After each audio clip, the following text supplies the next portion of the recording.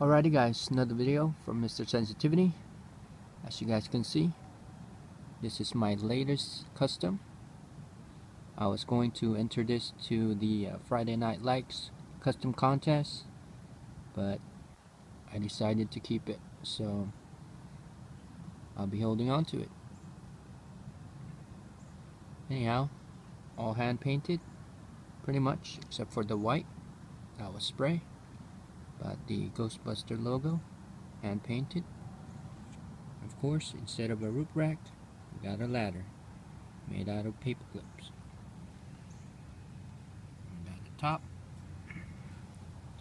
and to the side. There we go.